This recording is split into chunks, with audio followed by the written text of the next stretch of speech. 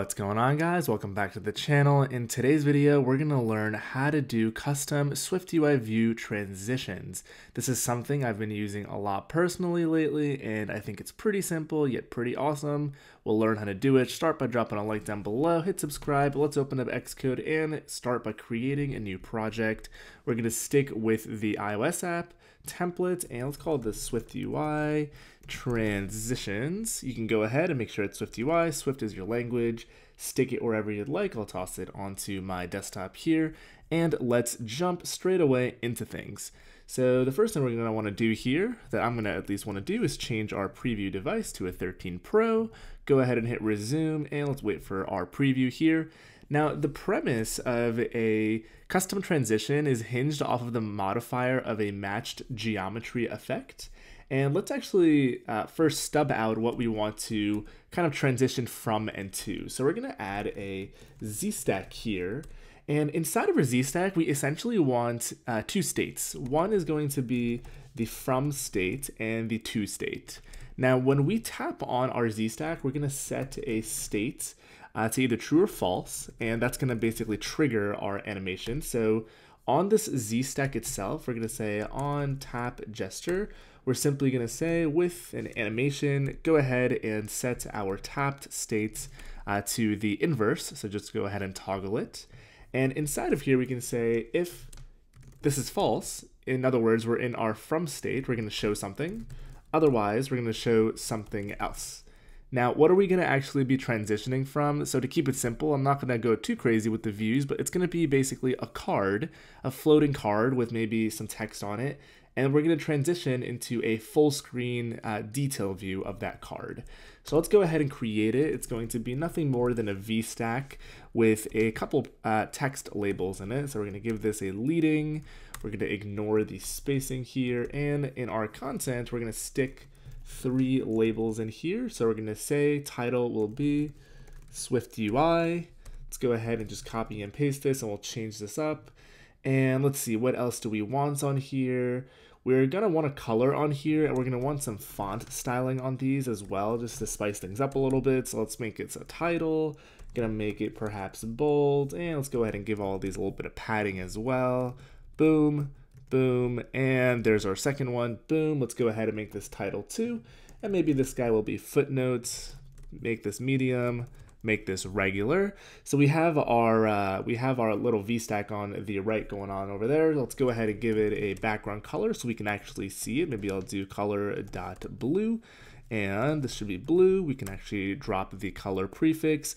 So there we have a card and it's starting to look kind of decent. So let's go ahead and uh, drop the padding on this to be 2, so it's a little closer, and we're going to style things up just a little bit. So uh, let's see, so this is the spacing actually between everything. So we're going to want everything to be left aligned, which I believe it is. Um, let's actually give this a frame. I'm going to give it a width. 200 and we're going to stick an alignment in here of leading as well and maybe let's actually do color. We're to do system blue just like that. All right, there's a card. We're not to go too crazy with it. Let's go ahead and basically talk about transitioning to the full screen state.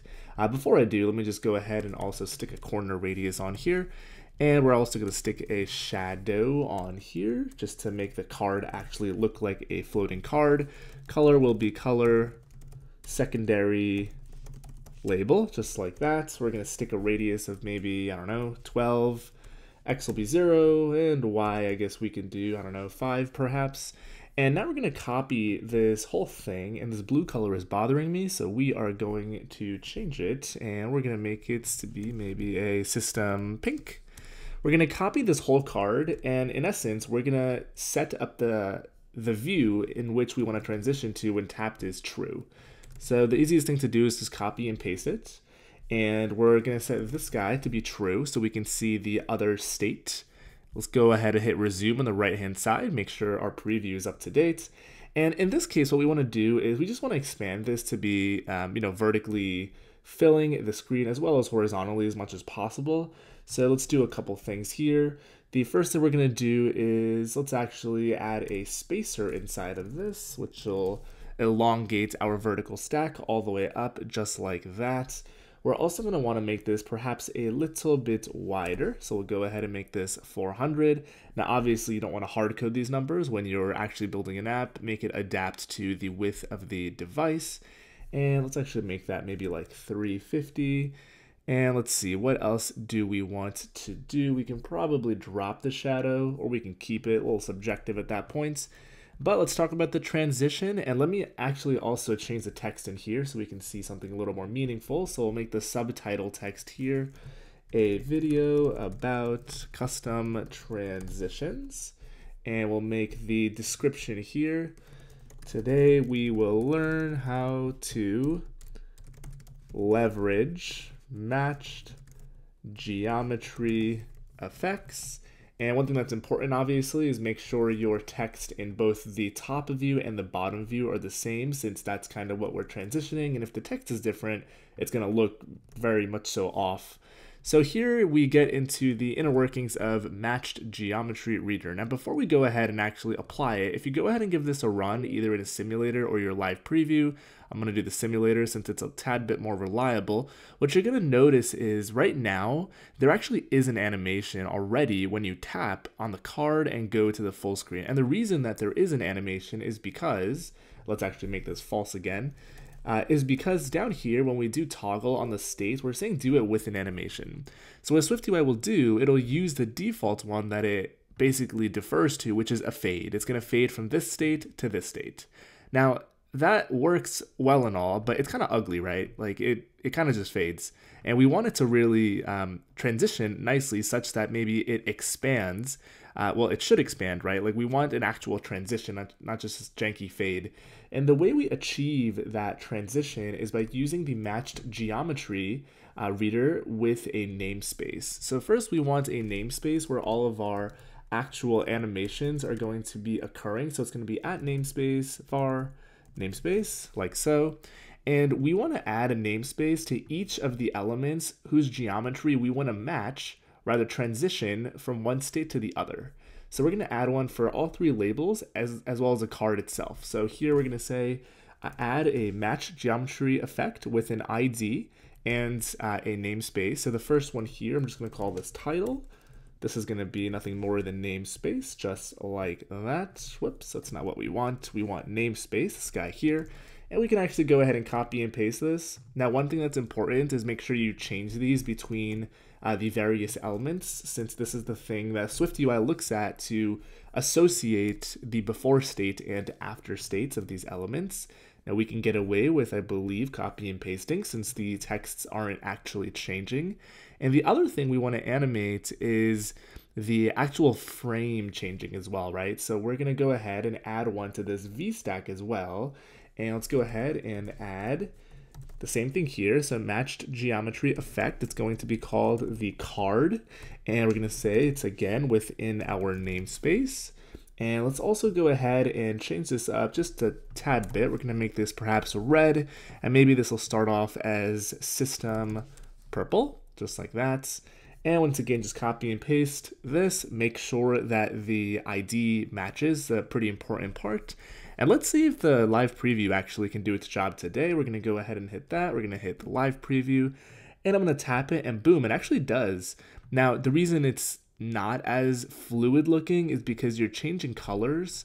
So if we actually make the color the same in both and run it in the simulator, it's going to look even more fluid. So I'm to stick with this purple here. We'll copy and paste that there. Go ahead and give this a run in your simulator. And I'm going to slow down the simulator animations by going to debug, slow animations. And if you tap on it, you'll notice that it's actually expanding uh, and it's moving more or less our, our label views instead of just fading. So go ahead and hit that again and it's going to transition back to the card and you'll see the actual uh, expand or collapse in that case of the card element itself. Now, a couple really interesting effects you can achieve with this. You can imagine let's say you have something like a Instagram profile. And in today's Instagram's app version, when you tap on a photo on a profile, it kind of zooms it in and it transitions to the detail view where you can see the comments, the likes, you know, the the caption, etc., etc. You can achieve that with this while also separating out your views. Now, in this case, we didn't refactor anything to put them into separate views, but the things that you would need to, you know, maintain across two views that are sharing a transition animation is a namespace and a state, otherwise known as a binding when you want to pass it down. I'm planning on doing a bunch of more videos related to this since some of the effects you can achieve with this are pretty mind blowing with how simple the code is. I'm a major fan, and uh, that's kind of all I got for you guys today. So, a couple key callouts make sure you aren't trying to reuse this matched geometry effect modifier ID on all your things.